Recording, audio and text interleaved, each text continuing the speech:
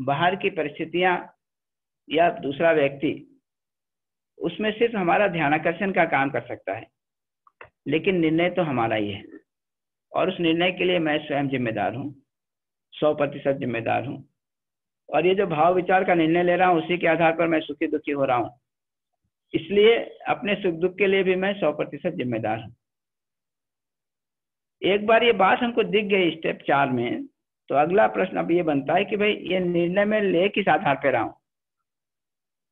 किस आधार पर मैं निर्णय ले रहा हूँ? क्योंकि मैं उसको ठीक करना चाहूँगा। ना? अपना जो निर्णय हुआ उसको ठीक करना चाहूँगा।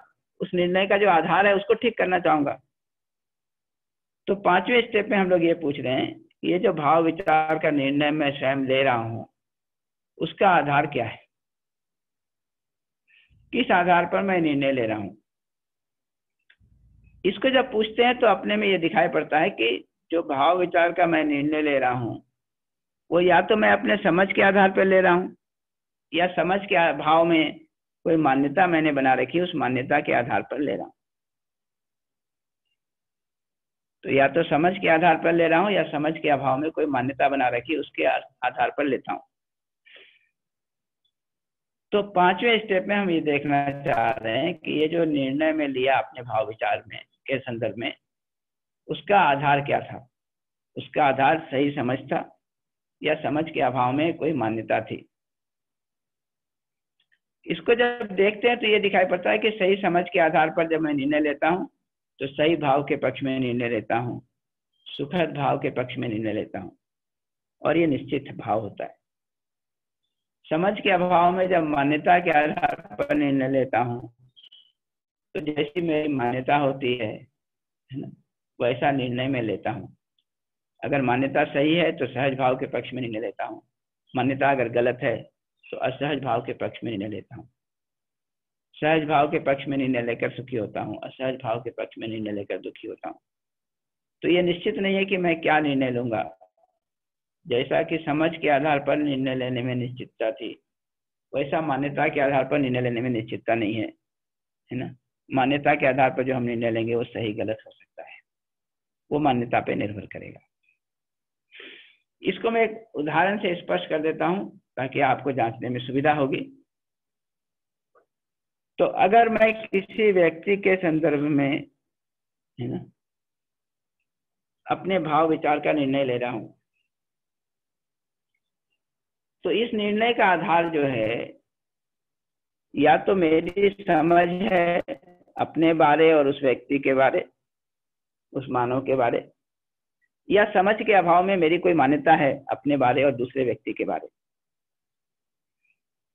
तो अगर समझ है तो उसके आधार पर जो मैं निर्णय लूँगा, वो सही भाव के पक्ष में निर्णय होगा, सहज भाव के पक्ष में निर्णय होगा, सुखद भाव के पक्ष में निर्णय होगा, ऐसा निश्चित है। तो अगर मैंने स्वयं को समझा है एक मानव के रूप में दूसरे व्यक्ति को भी समझा एक मानव के रूप में। और मुझे ये समझ में आ गया कि मानव के रूप में मैं, है ना, मैं और शरीर के सहस्तित्व के रूप में हूँ चैतन्य और जड़ के सहस्तित्व के रूप में हूँ। मुझे ये भी समझ में आ गया है कि संबंध पूर्वक जीना ही हमको स्वीकार होता है सहज रूप से, है ना। और उस संबंध में विश्वास का भाव, सम्मान का भाव, स्नेह का भाव मेरे लिए सहज है, सुखद है। दूसरे के लिए भी सहज है, सुखद है। तो अब जब भी मैं दूसरे व्यक्ति के संदर्भ में अपने भाव विचार का निर्णय लूँगा तो सहज भाव के पक्ष में निर्णय लूँगा, सुखद भाव के पक्ष में निर्णय लूँगा, सामने वाला व्यक्ति चाहे कोई भी तो मेरे भाव में निश्चितता है और वो निश्चित भाव जो है वो सहज भाव है, सुखद भाव है। लेकिन अगर मैंने स्वयं को नहीं समझा है, दूसरे मनुष्य को नहीं समझा है अपने बारे कुछ मान रखा है, दूसरे व्यक्ति के बारे कुछ मान रखा है। तो जो मान रखा है, उसके आधार पर मैं अपने भाव विचार से निर्णय लेता हूँ। तो अगर मैंने ये मान रखा है कि मैं अपना जब देख, अपने को देखने जाता हूँ तो किसी संप्रदाय विशेष का देखता हूँ, दूसरे को देखने जाता हूँ तो किसी संप्रदाय विशेष का देखता हूँ एक मानव के रूप में समझ नहीं पाया हूँ। तो दूसरा व्यक्ति अगर मेरे संप्रदाय को बिलोंग करता है तो उसके प्रति हमारे में स्नेह का भाव आता है।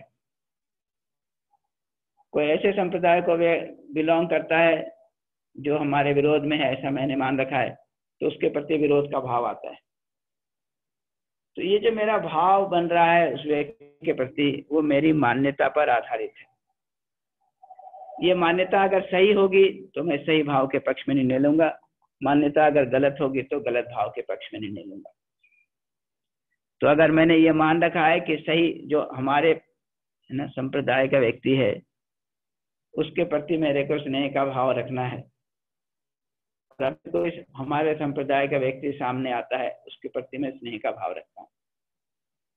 तो ये बात तो सही है कि कोई भी व्यक्ति के प्रति स्नेह का भाव रखना है। चाहे वो हमारे संप्रदाय का हो, चाहे ना हो। इसको जब हम अप्लाई कर रहे हैं संबंध, ऐसे व्यक्ति के प्रति जो हमारे संप्रदाय का है तो मैं सही भाव के पक्ष में निर्णय ले रहा हूँ। लेकिन इसी को जब हम ऐसे व्यक्ति के साथ अप्लाई करते हैं, जो हमारे संप्रदाय को बिलोंग नहीं करता, या ऐसे संप्रदाय को बिलोंग करता है, जो हमारा विरोधी में माना हुआ उसको तो उसके प्रति मेरे में विरोध का भाव आता है। तो अपने संप्रदाय वाले के संदर्भ में हमारा मान्यता सही है कि उसके प्रति स्नेह का भाव रखना है। दूसरे संप्रदाय वालों के बारे में मेरा मान्यता गलत है, उसके प्रति विरोध का भाव रखना तो जैसा हमारा मान्यता है, वैसा हम भाव विचार का निर्णय ले रहे हैं, जो सही गलत हो सकता है। तो वहाँ निश्चित नहीं है। लेकिन अगर मैंने स्वयं को समझा है, दूसरे मानव को समझा है तो अब मैं जो निर्णय लूँगा, वो सहज भाव के पक्ष में निर्णय लूँगा। सम्मान के भाव के पक्ष में निर्णय लूँगा, विश्वास के भाव के पक्ष में निर्णय लूँगा। इस भाव के साथ मैं स्वयं सुखी रहूँगा, दूसरे के प्रति इसी भाव को व्यक्त करूँगा। तो इस बात को अब हमको देखना है कि जब भी मैं किसी के प्रति अपने भाव विचार का निर्णय कर रहा हूँ, जो स्टेप चार में हम लोगों ने देखा था तो उसका आधार क्या है? उसका आधार अपने को समझना और दूसरे को समझना है। या समझ के अभाव में अपने बारे कोई मान्यता और दूसरे के बारे कोई मान्यता है।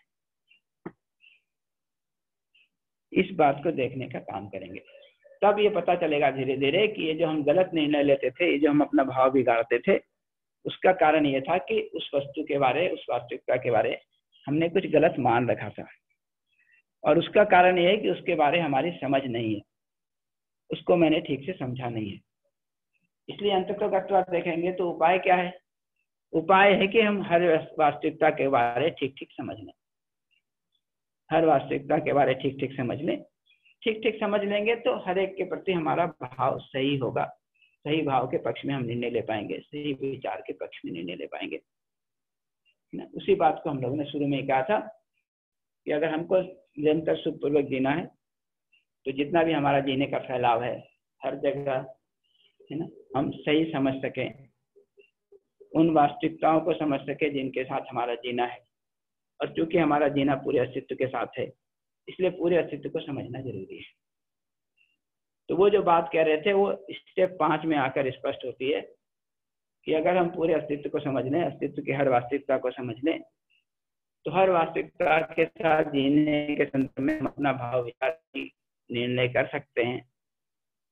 हर एक वास्तविकता के प्रति सही भाव रख सकते हैं, सही विचार रख सकते हैं। और इस आधार पर हम अपने में आराम में रह सकते हैं, सुखी रह सकते हैं और दूसरों को भी सुखी करने के लिए काम कर सकते हैं। तो इस तरह से वो बात जुड़ती है। उसी को भी आगे हम लोग और स्टेप छह और सात में ज़्यादा साफ़ करेंगे। बट स्टेप पाँच में हमको यह काम करना है कि इस क्षण जो मैं निर्णय ले रहा हूँ अपने भाव विचार का जिसके लिए मैं स्वयं जिम्मेदार हूँ। अब देखना है कि इस वास्तविकता को मैंने समझा है समझकर उसके अर्थ में अपने भाव विचार का निर्णय ले रहा हूँ। या समझ के अभाव में कुछ मान्यता बना रखी है, उस मान्यता के आधार पर अपने भाव विचार का निर्णय ले रहा हूँ। इस बात को देखना है और इस बात को भी देखना है कि जब भी मैं समझ के आधार पर अपने भाव विचार का निर्णय लेता हूँ तो सही भाव के पक्ष में निर्णय लेता हूँ, सहज भाव के पक्ष में निर्णय लेता हूँ, सुखद भाव के पक्ष में निर्णय लेता हूँ। समझ के अभाव में जब भी मान्यता के आधार पर निर्णय लेता हूँ तो ये निश्चित नहीं होता। मान्यता सही होती है तो सहज भाव के पक्ष में निर्णय लेता हूँ। मान्यता गलत होती है तो गलत भाव के पक्ष में निर्णय लेता हूँ, असहज भाव के पक्ष में निर्णय लेता हूँ और ऐसा करके दुखी होता हूँ।